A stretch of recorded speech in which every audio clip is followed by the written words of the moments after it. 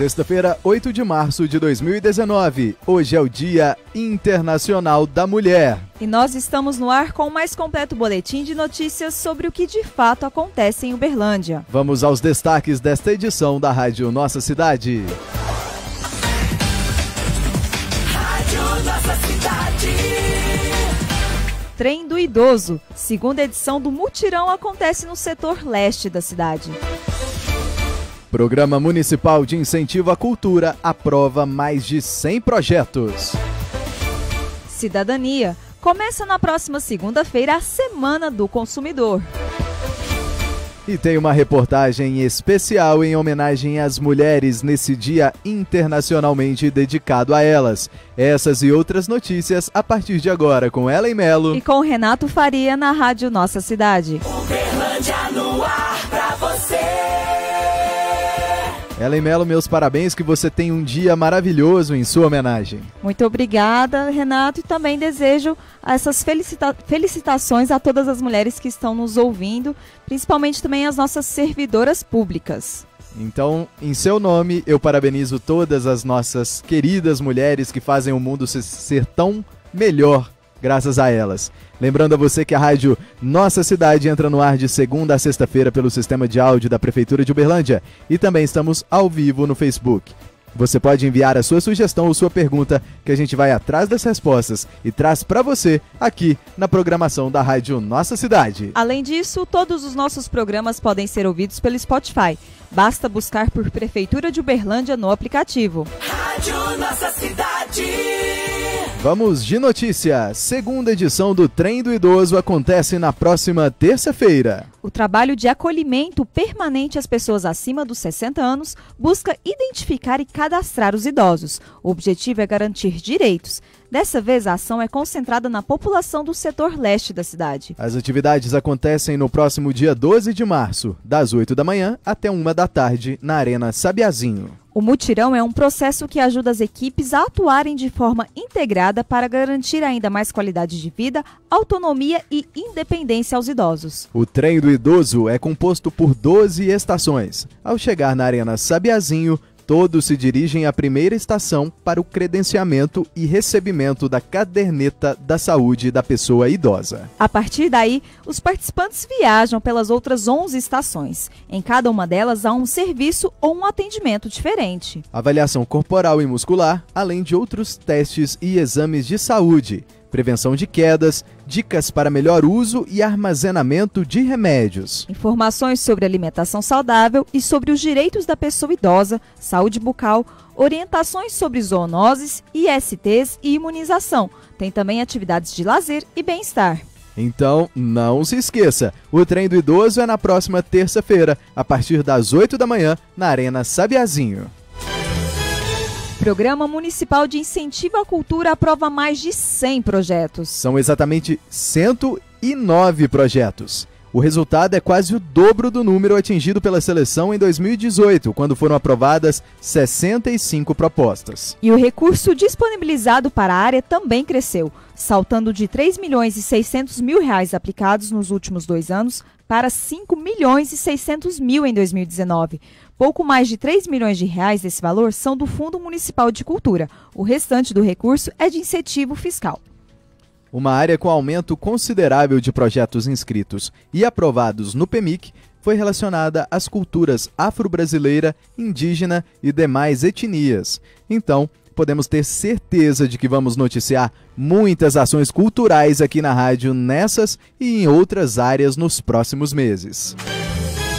Ainda falando de cultura, na próxima segunda-feira começa o prazo para os interessados em se inscreverem no projeto Boca de Cena. É possível inscrever performances artísticas no foyer, perdão, no foyer ou no palco italiano do Teatro Municipal. Serão selecionados até 24 grupos, sendo 12 para cada modalidade. Mas atenção que o prazo é curto, hein? As inscrições começam na segunda-feira e terminam na sexta, dia 15 de março. Os interessados podem conferir o edital que já está publicado no nosso portal www.uberlandia.mg.gov.br. A seleção será feita por uma comissão formada por membros do Conselho Municipal de Políticas Culturais. Procon promove a Semana do Consumidor a, partir da próxima segunda-feira. O Dia Mundial do Consumidor é 15 de março, mas a semana inteira será de ações organizadas pela Superintendência de Proteção e Defesa do Consumidor. As atividades serão na sede do Procon, também na Praça Tubal Vilela e na Câmara Municipal. Todas as ações, claro, são gratuitas. Então fique atento à programação. Na segunda-feira, os consumidores que desejam resolver pendências financeiras com as companhias telefônicas devem ir até a sede do Procon na Avenida Afonso Pena, número 1612. Na terça-feira, o atendimento é voltado àqueles que necessitam de auxílio no atendimento junto à Unimed Uberlândia.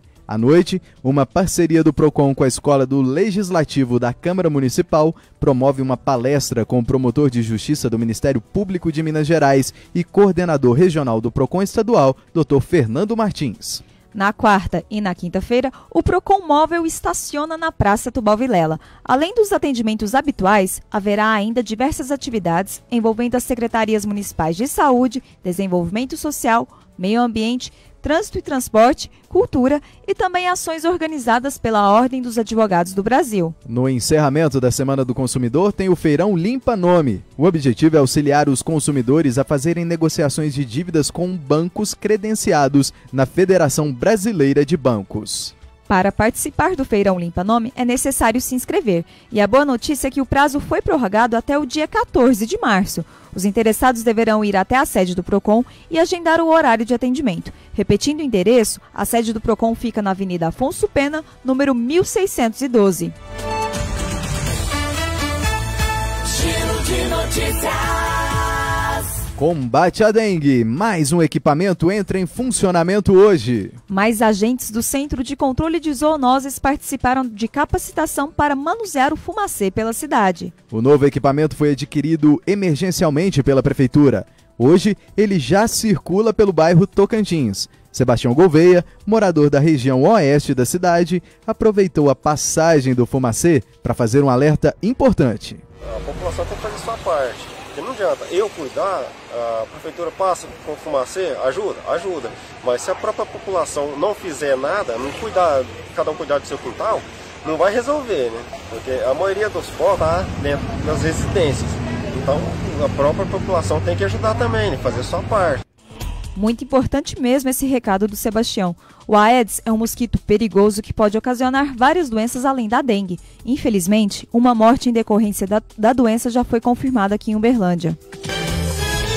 Quadras do UTC recebem aplicação de concreto.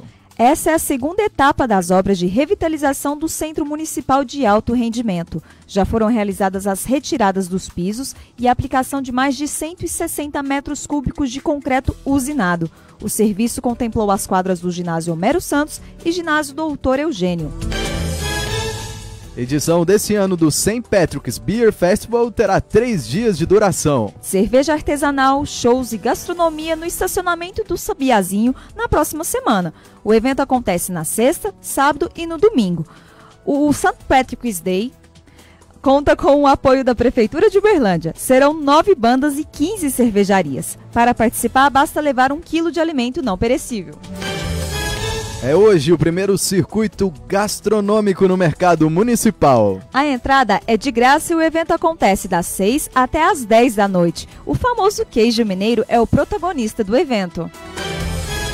Mulheres em ação no Parque do Sabiá. A segunda edição do evento amplia a programação do Dia da Mulher e terá serviços gratuitos de saúde e beleza, distribuição de brindes e um aulão de ginástica dançante. É na segunda-feira, a partir das 5 da tarde, no Parque do Sabiá. Giro de notícias. Agora vamos para uma reportagem especial.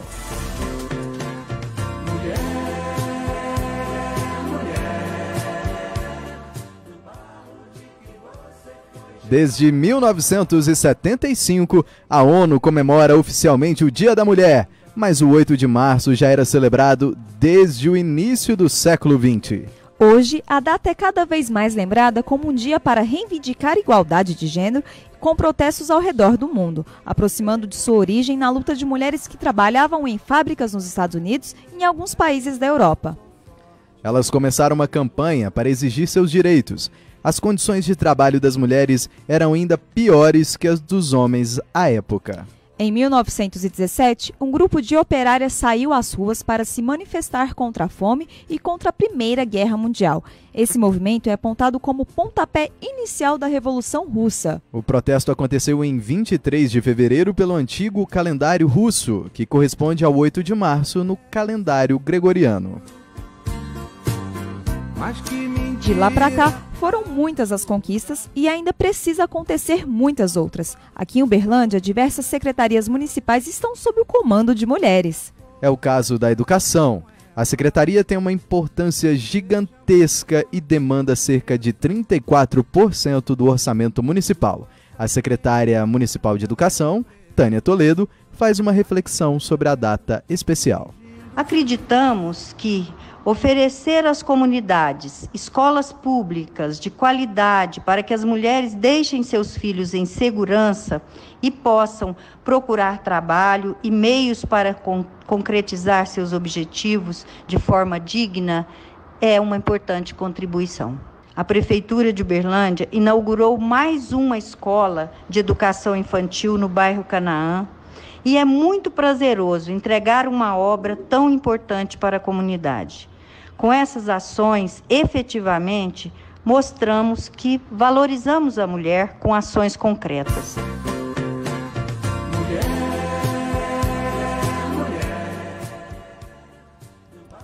Na Secretaria de Administração da Prefeitura, responsável por cuidar de todos os milhares de servidores municipais, tem outra mulher forte, a secretária Marli Melazo. Muito além do cuidado com os servidores, é a Secretaria de Desenvolvimento Social, Trabalho e Habitação que mais se ocupa o tempo todo do cuidado com mães, idosas e cidadãs, em busca de ter uma vida melhor para elas e suas famílias. É o que nos conta outra secretária municipal, Iracema Marques. E a sensibilidade do nosso prefeito, ela não, não resume só apenas em colocar mulheres em cargos de comando, mas simplesmente em criar políticas públicas que realmente vão favorecer as mulheres da nossa cidade no seu dia a dia. Faz com que as nossas mulheres se tornem mais independentes através de cursos profissionalizantes que são oferecidos pela prefeitura, dos vários NICAs que tem na cidade, dos CRAS que tem um acompanhamento para as mulheres que têm alguma dificuldade, ou com elas mesmas, com a questão dos seus filhos. Temos aí o SIM, a Diretoria da Mulher, que está todos os dias atuando junto à Delegacia das Mulheres e junto à Defensoria Pública para atender mulheres na questão de violência doméstica.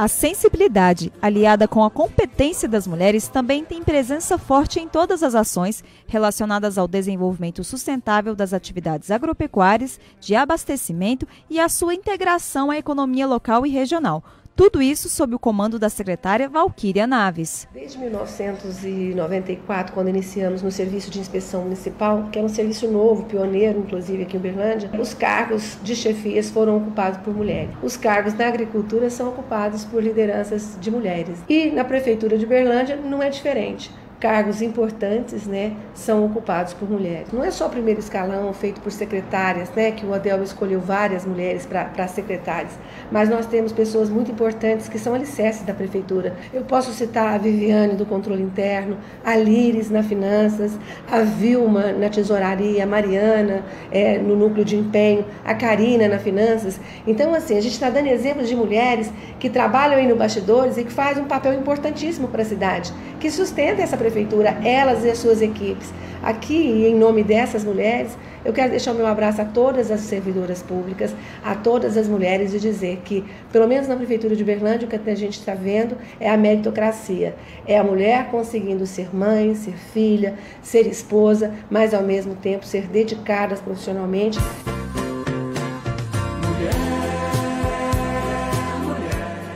Na cultura não é diferente. De acordo com a secretária Mônica Debs, grande parte das ações são promovidas por mulheres e muitas vezes para as mulheres. A secretária Mônica Debs também conversou com a reportagem da Rádio Nossa Cidade. A Secretaria de Cultura trabalha os 365 dias do ano tentando fomentar a criatividade, comércio, é, confecção tra o trabalho com as mãos, aquilo que une emoção, coração e razão. Na verdade, nosso dia é todo dia e toda noite. Mas se há um dia de destaque, que ele seja celebrado de uma forma positiva, de uma forma que enriqueça e qualifica ainda mais as nossas mulheres.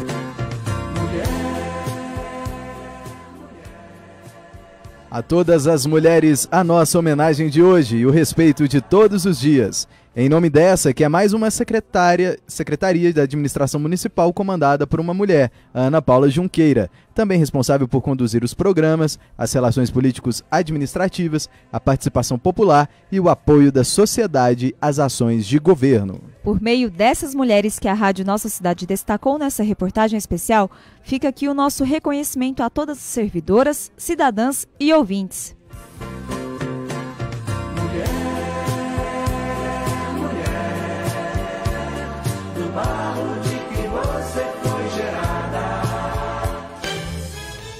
Terminou a nossa edição de hoje no nosso programa. Nós agradecemos a sua audiência nas redes sociais da Prefeitura. Rádio Nossa Cidade, jornalista responsável Josuá Barroso, secretária de Comunicação Social Ana Paula Junqueira, Prefeitura de Uberlândia. Você pode contar com a gente. Mais uma vez, um feliz Dia Internacional a você, Ellen Melo, e a todas as mulheres do mundo. Muito obrigada, Renato. E você, ouvinte, fica agora com a mensagem da Prefeitura veiculada nas redes sociais e na mídia em homenagem a nós mulheres, pelas vozes de várias outras. Até segunda-feira, Renato. A mudança que todos queremos para a sociedade começa primeiro dentro da gente. Dentro da nossa casa e da nossa cidade. Neste mês, vamos mostrar todo dia ações da Prefeitura de Uberlândia que não são homenagens às mulheres. São compromissos com o respeito à saúde, à segurança, à independência, com a vida plena de todas nós. Isso é mudança que fica. Fica por aqui mais uma edição do programa da Rádio Nossa Cidade. Continue conosco no portal da Prefeitura e nas